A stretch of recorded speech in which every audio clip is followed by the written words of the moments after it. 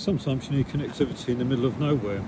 So here we are in a very windy but sunny Hertfordshire with Reskube and a Starlink Mini being powered by the Reskube.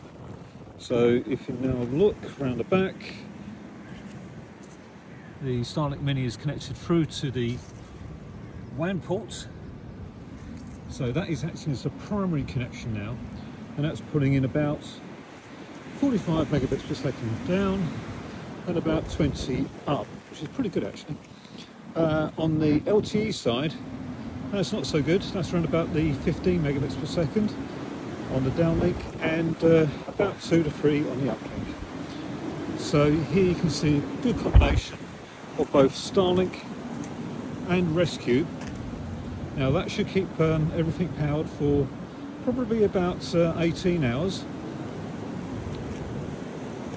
So you can see as a really portable anywhere type of uh, solution for emergency communication or just where there's nothing around, Reskube could be your answer.